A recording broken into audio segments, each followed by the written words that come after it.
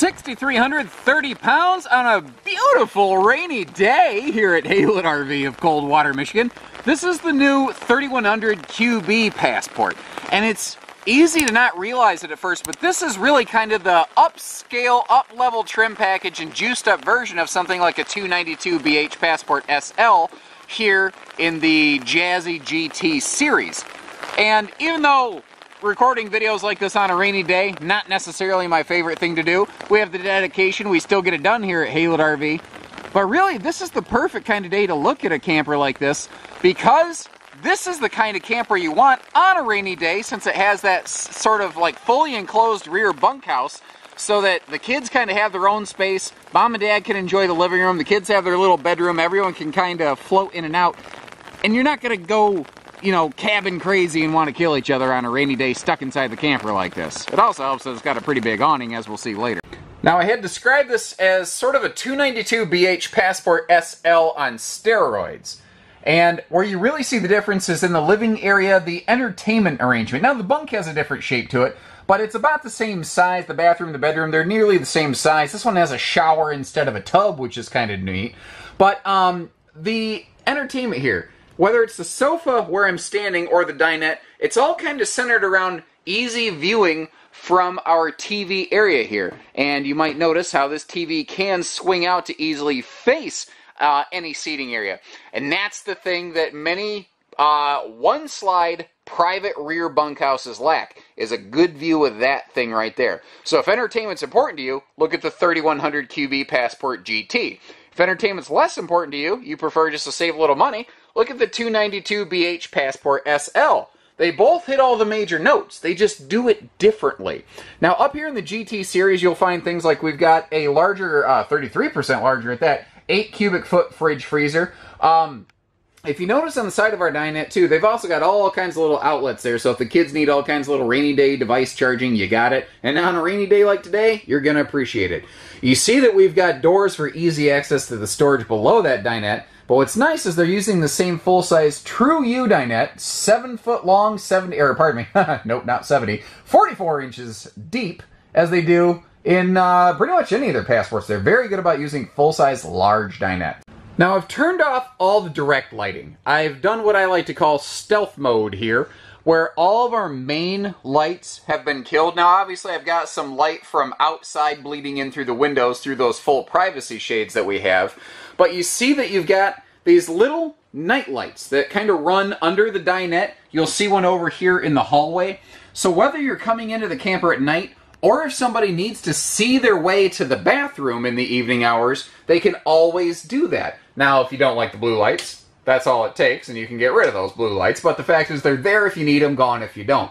Another neat thing here above this big adult size sleeper dinette is the fact that the lighting within the slide out is actually dimmer and touch sensitive. So uh, if you uh, you notice how it has positional memory, like right now the lights are all the way up, you can bring the lights all the way down, and it will remember the lights on low. So if you have the lights on low in the evening, when you wake up in the morning, you probably still want them low. You don't want them blinding you like that and squinting real hard.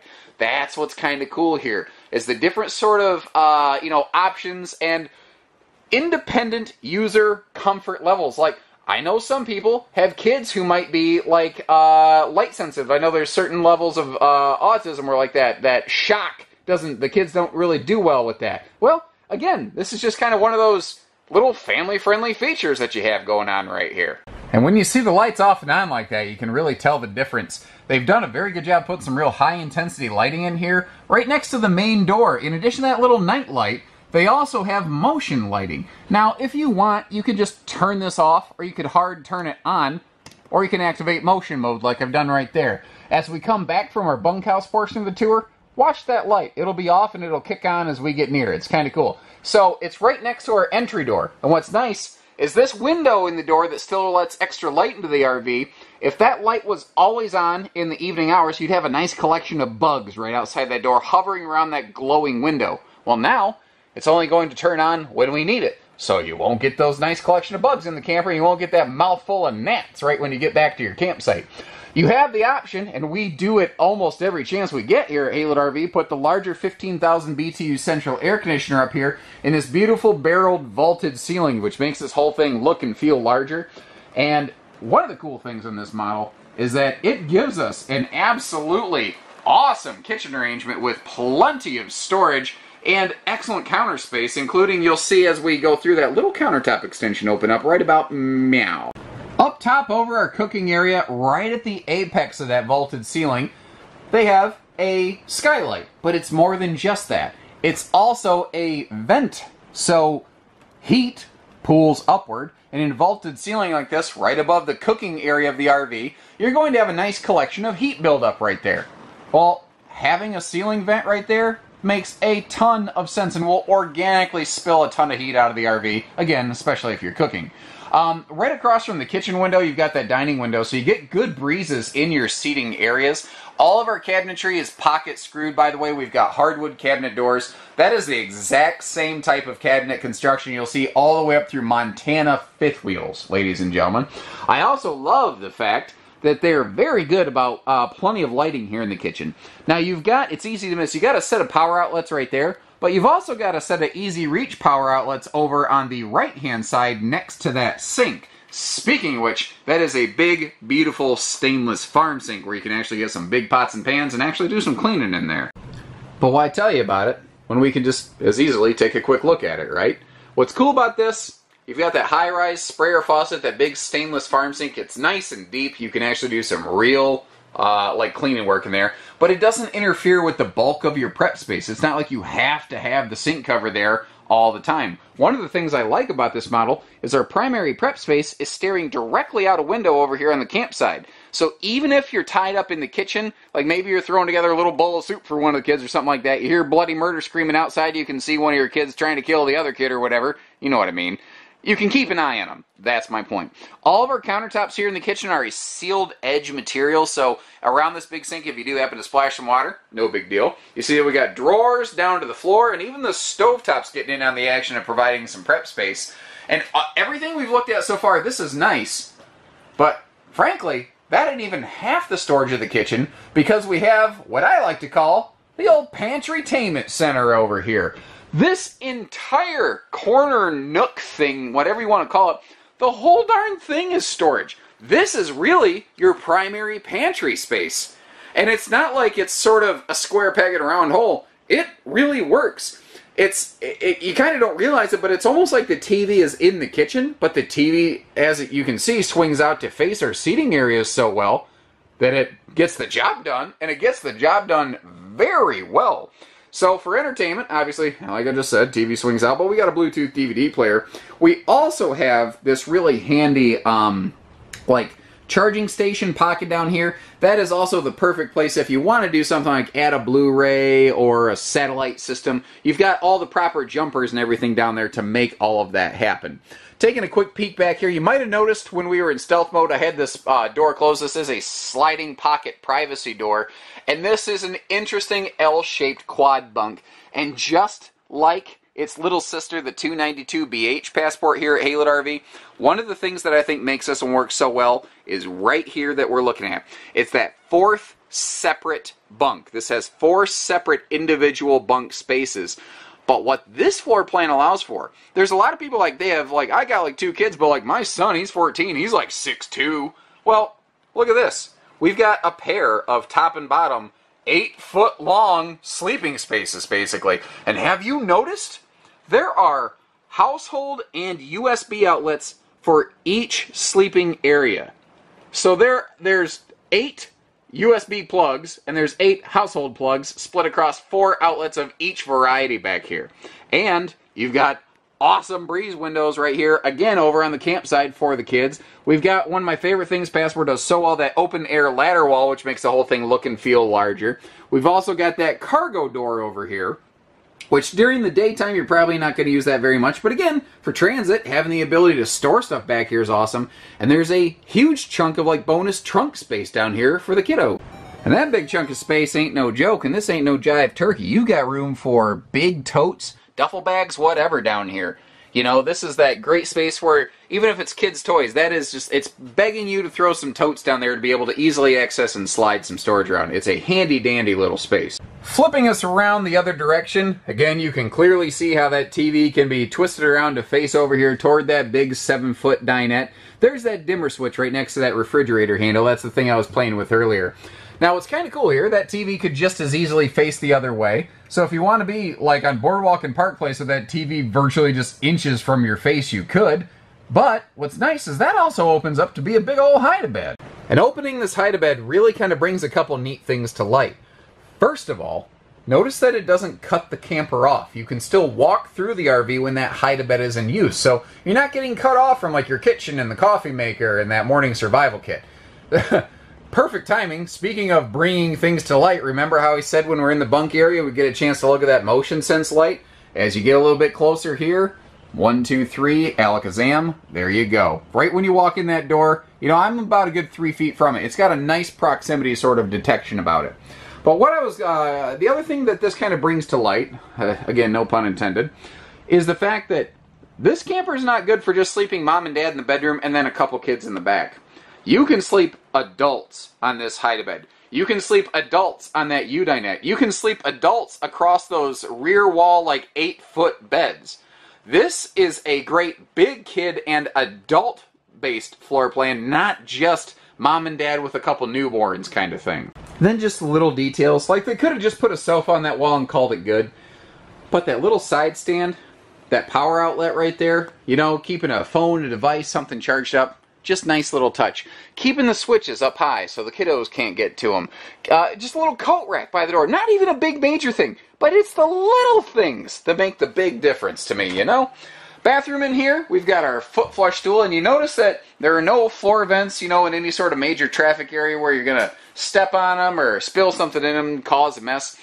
We've got a large radius shower also, and having that skylight all the way as far as they can against the sidewall in conjunction with that vaulted ceiling makes this bathroom pretty darn friendly for big people like me. And I tell you, I don't feel cramped in here. I've got plenty of leg room. I can stand up. I can stretch my arms out.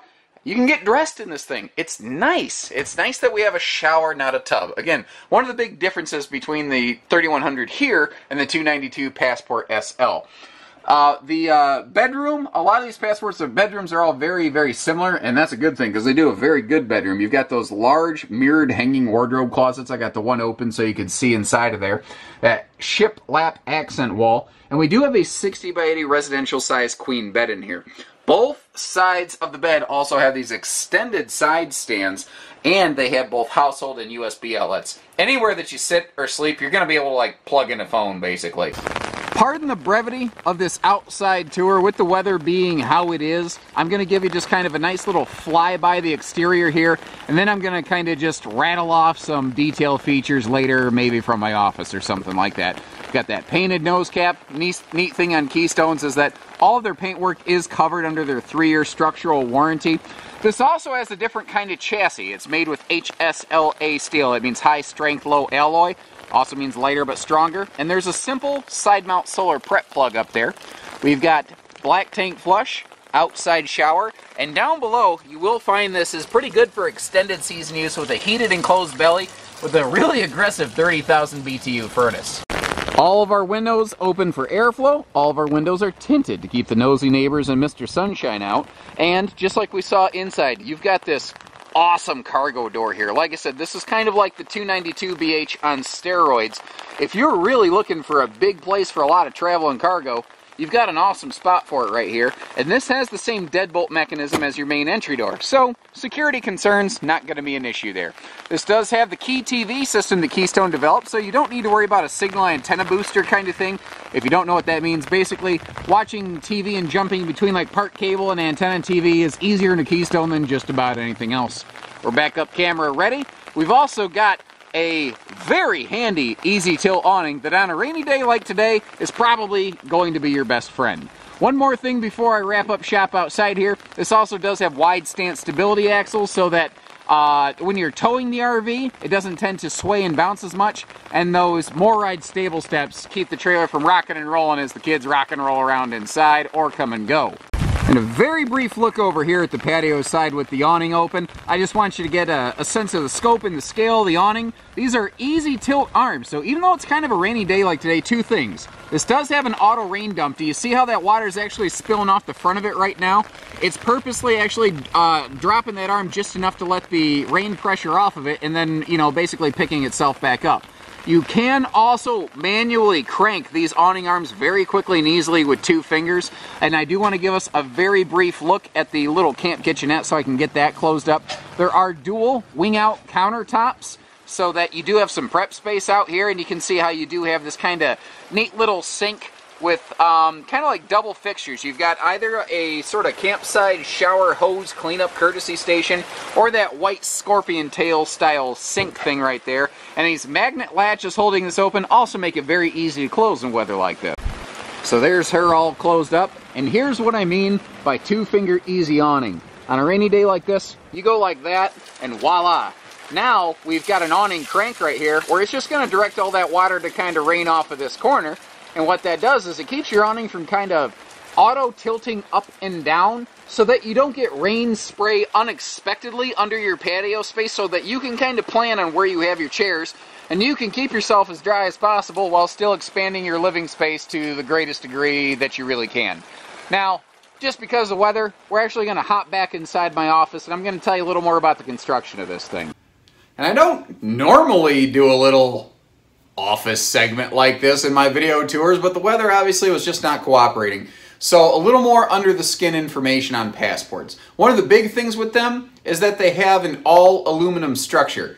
And really, if we're going to be super nitpicky, they technically have a galvanized stamped steel roof truss system every 16 inches on center, which is what you see in some very high-end fifth wheels. Actually, most fifth wheels don't even use galvanized steel trusses anymore. They've gone back to wood trusses. So that's a high-end weight-saving item that Passports use. Everything else is going to be an all-aluminum structure. Behind that nose cap that's covered by the three-year, well, the whole thing's got the three-year structural coverage, but the walls, the floor are both laminated. Uh, the rear wall is laminated. The front wall has aluminum studs going all the way down the thing. So that's one of the things that helps keep it very rigid, but very lightweight. Uh, I mentioned the chassis. A big thing on that, there's nothing wrong with an I-beam frame, but uh, Passports use, it's like a Z chassis. Um, it's made with what's called high-strength low alloy steel, and the idea behind it is that, like, if you want a good house, you start with a good foundation, right? Well, there's nothing wrong with an I-beam foundation.